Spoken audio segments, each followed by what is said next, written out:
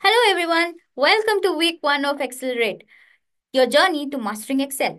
In this session, we'll cover essential autofill and formatting techniques. So let's quickly start by opening our Excel workbook. I have opened a blank workbook here and I'm going to take an example of a very small data. I'll be working on the product data and sales data of five products. Okay. So let's start with the headings of this data table that we're going to make. First would be the product. Then let's take sales amount and date. So since this is a heading, I want it to stand out. Let's use bold on our ribbon to help facilitate that. Next, let's enter the data with the respect for the respective headings. I will name the products product A, B, C, D, E.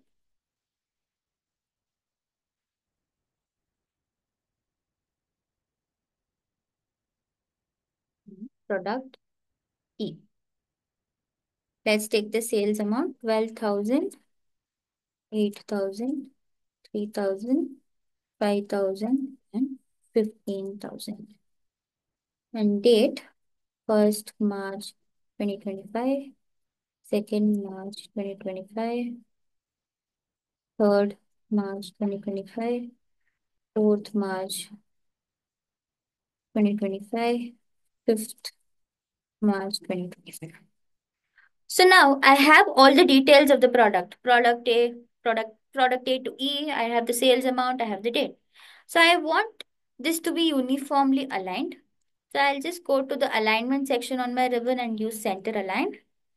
I also want borders for this. I click on borders, all borders. So now let's address a few very practical questions that will come up when you present data like this. What is this exactly? This is the sales data of five products.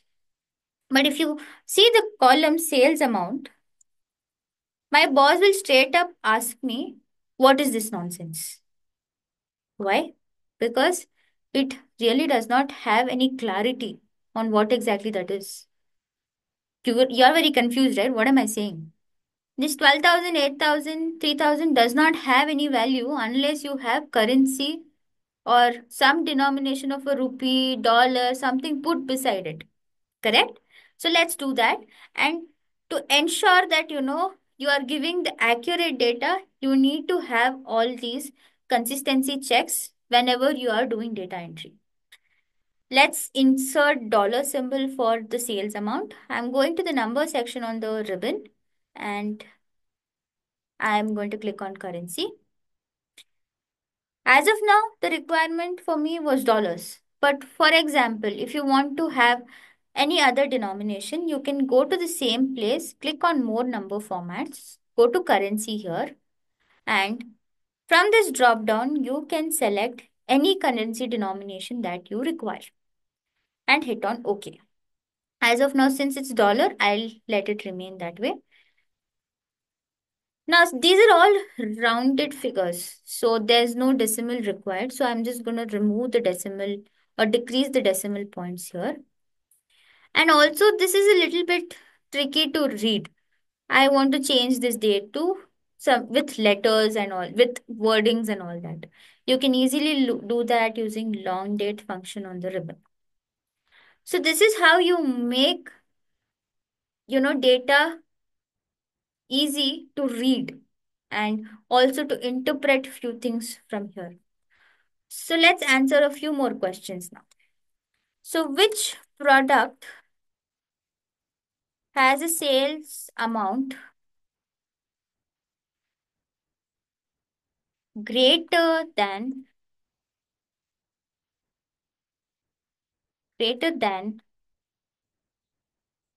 $10,000. Right now, you will say there are only two products. Imagine there are hundreds and hundreds of data. How do you easily do it? So you just have to select the range of data where you want these things. Say I right now I'm I want the data for which product did the sales amount greater than 10,000? I'll go to conditional formatting, highlight cells, cell rules greater than, and I will give the condition as 10,000 here.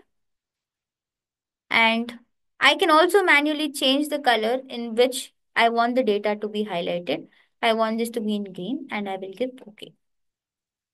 So this is how you can use conditional formatting to highlight the greatest value among large amount of data. I want to see which product did lesser than $5,000 sales. Again, I'll select this data. I'll go to conditional formatting. I'll go to less than and give the parameter as 5000 and I'll let it be in red because usually when you're submitting a report, wherever there are deviation is where you want it to be highlighted and red is a be best color to do that. So this is how easily you can highlight your data based on conditions using conditional formatting. Okay. So let's move on to the second part of our lesson today. That's autofill. How does autofill save you? If you want to enter large amount of data, it is really hard. That much of manual work is not humanly possible in this fast growing era. In Excel, you have that tool, autofill, where you can use it and it'll be very easy and fast for you to finish the data entry. And you will also be able to do reports faster since you don't have to do too much manual work. Let's start with a simple example. Say, for example, I want to enter 1 to 10 numbers. I will not enter 1, 2, 3, 4, 5, 6, and so on.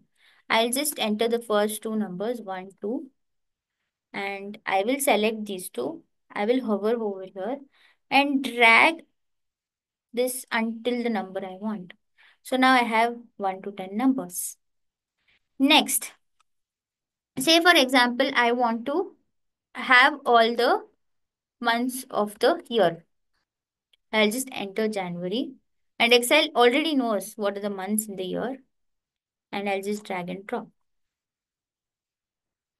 Next, I want the weeks to design a calendar. Weekdays, weekends, the days in a week. I want that to be entered. So I'll do just do Sunday. And then Saturday. So this is how you can use autofill to ease up your data entry work. So let me know in your WhatsApp group if you were able to do this and if you had any hiccups while doing these simple exercises, please do post it and we will be able to help you out.